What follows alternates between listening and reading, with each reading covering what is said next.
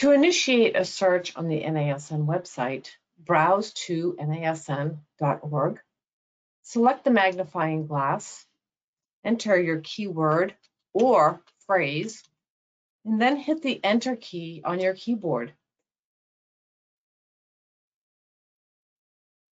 The NASN search solution will find content on the NASN website, in the NASN Learning Center, in the NASN Journal articles, and on the NASN online community.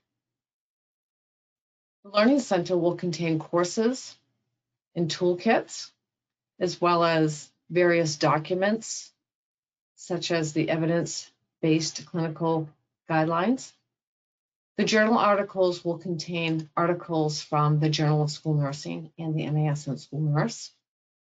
And the online community will contain discussions and resources that are shared by school nurses. All of these different content types can be further filtered using some of the criteria here. The online community can be further filtered by discussions. The Learning Center can be filtered by different categories. All content can be filtered by year posted. Content can also be filtered by the community for which it is located or the microsite for which it is located. Please note that NASN's main www site is a microsite. Lastly, your content can be sorted in different ways.